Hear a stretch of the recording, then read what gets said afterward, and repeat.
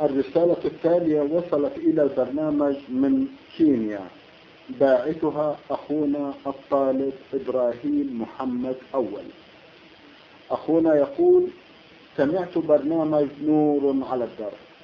فاستفدت منه كثيرا وأردت أن أبعث إليكم بهذه الأسئلة لأن مواضيعها حيرتني كثيرا.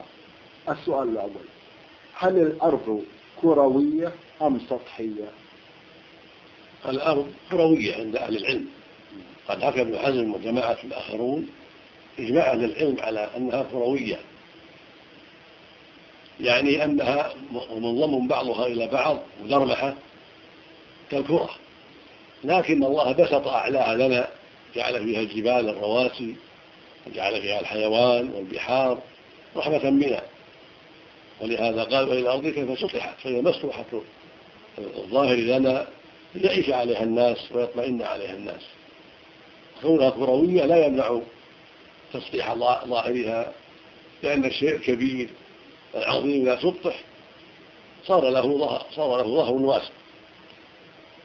نعم. وآية لهم الليل نسلخ منه النهار فإذا هم والشمس تجري لمستقر لها ذلك تقدير العزيز العليم. والقمر قدرناه منازل حتى عاد كالعرجون القديم. لا الشمس ينبغي لها أن تدرك القمر ولا الليل سابق النهار. وكل في فلك يسبحون.